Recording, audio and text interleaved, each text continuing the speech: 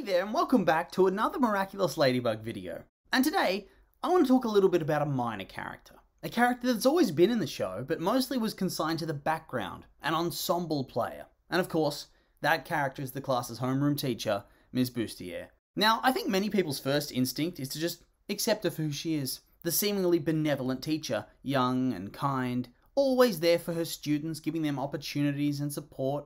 And you know, that's clearly what the show wants you to think. But you know what? I've decided this is not the reality. This is not the reality at all. In my eyes, she kind of sucks. Maybe not as a person, she seems nice enough, but as a teacher, a guide for young minds, a figure of authority and support.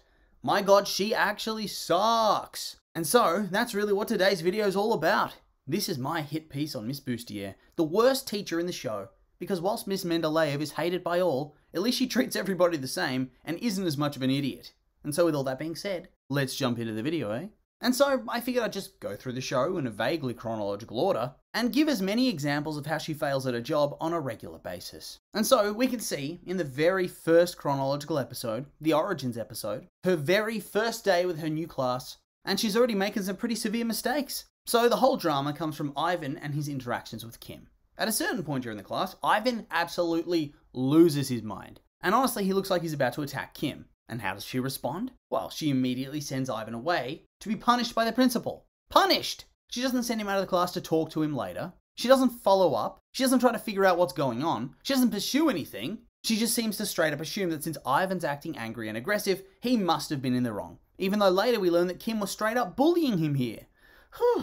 and so it begins. In Lady Wifi, there's a scene where Marinette comes to class late, and understandably, she's upset and confused at hearing her friend, her best friend, has been suspended. And what does Miss Bustier do? Does she talk to Marinette? Does she use her critical thinking and realize that Marinette's probably a bit shocked, so she deserves a little bit of leeway just for the moment? Nope! She scolds her for being late and then yells at her for being a distraction, sending her to the principal's office straight away. Woo! Surely that guy has better things to do than deal with this shit. In Dark Cupid, when she thinks Adrien isn't listening, she calls him out in front of the entire class to repeat what she said. Which to me, this seems like an attempt to publicly shame him if he was wrong about it. Because, you know, shame's such a good thing to make teenagers feel in front of their peers and their friends, especially when this is their first year at school after a lifetime of homeschool. Whoo!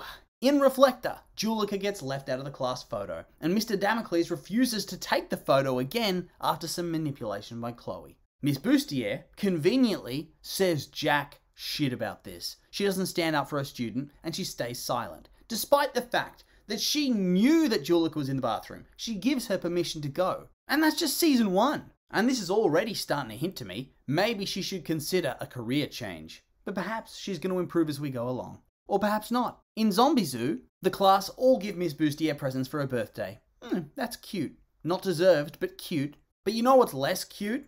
The fact that Chloe vandalizes Marinette's gift. The entire class is upset about this. This would have cost Marinette money to put together. And Chloe's just drawn all over it. And how does our esteemed teacher respond to this? She laughs it off. She tells them it's now a joint gift from Chloe and Marinette, that will forever make her think of both of them. And then she asks to speak to Marinette outside, telling her to forgive Chloe. I mean, is she secretly getting paid by Mr. Bourgeois? Being told to go along with it so Chloe gets no consequences and no punishment? Lovely. So, yeah, either she's just a suck up and a sycophant, or she's literally a complete and utter buffoon and I'm honestly leaning towards her being a buffoon, because in Catalyst, she somehow fully believes Lila's lies that she's in the kingdom of Achu working with Prince whatever his name was. Like, this dude was a high profile celeb followed by the Paps. He'd be in the tabloids. Are you telling me she hasn't even done a quick Google search just to check the goss? I know I would if I was told one of my students was dating a prince, or hanging out with a prince, or whatever it was. I don't think I'd be able to resist. I mean, this is the easiest thing in the world to verify as false. And not only does she believe her, but she thanks her on behalf of the world, and then she belittles the class kind of, telling them, oh yeah, I know that Lila's a lot to live up to, but try your best. In Chameleon, she proves herself even more stupid when, after being told Lila has tinnitus, just straight up believes her, which, you know, fair enough. But then, when Lila suddenly tells her, Oh, look, I'm cured, ha like, what? Yeah, believing the claim at first is fair enough. You shouldn't shame people's medical issues. But surely being told that it was suddenly gone would have your alarm bells going. Be a bit troubling. After all, Marinette in this class had already accused Lila of lying about it, and then suddenly it's gone. There's not even an inkling of suspicion? I mean, come on now. Then, in Ladybug, Miss Bustier has given an anonymous tip that Marinette stole the test answers, and thus, in front of the whole class, the whole class, she checks her bag and shames her in front of everybody. I mean, just ask her to stay behind after class and then check the bag. But then, when the whole class actually vouches for Marinette, she just washes her hands of all of this and sends them to the principal. Like, and I mean, yeah, this does feel like a principal level issue. She stole the test answers, but still, I feel like she dealt with it terribly in the first place. And so, yeah, that's gotten us through the first three seasons. But wait, there's more. Season 4. It actually has a really good moment for Miss Bustier. She stands up to support her students who are leading a protest against the mayor, who wants to demolish a public park and build a skyscraper that's going to convert air into tinned air and then sell it. So, yeah, there's that. But in my eyes, it does not cancel out all the other shit she does, where she's proved herself utterly inept. In Wishmaker, there's a minor moment where she fails to properly reprimand Chloe when she starts making fun of Marinette for having less money than her, even though surely Marinette's family are actually decently well off, right? I mean, the baker is literally visited by everybody of note in the show, including celebrities. If this was a real place, it would be the top of every Paris's hidden gems, with lines wrapping around the block. But regardless, I'm getting off topic. The reality is, she doesn't do shit to stop Chloe bad mouthing her student. Almost ever.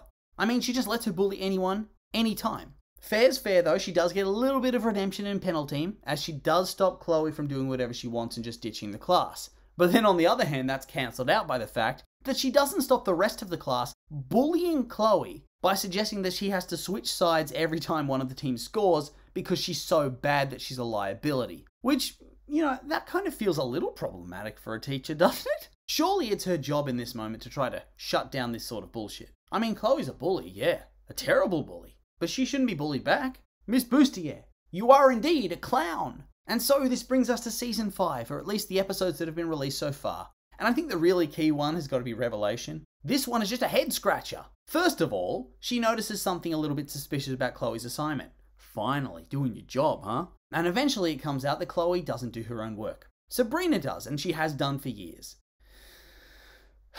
Which is okay.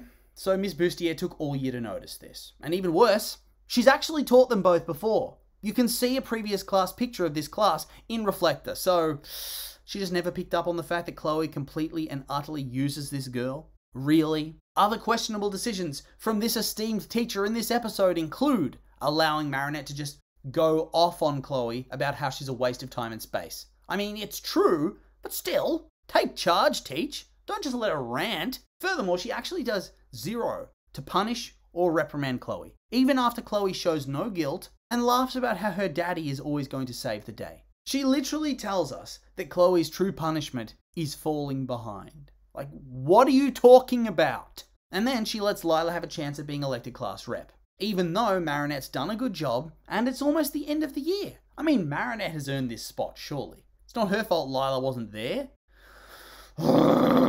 Miss Bustier, you are a poser and a hack and a truly bad teacher. The end. Goodbye. And so, yeah, that's my evidence. Do with it what you will. But of course, I'll just remind you that these have been my opinions, and now I'd like to hear yours. What did you think of Miss Bustier? Am I being unfair on her abilities? Or do you agree that she needs to seek a new profession? I'm curious for your thoughts, so make sure to like, comment, subscribe, and let me know.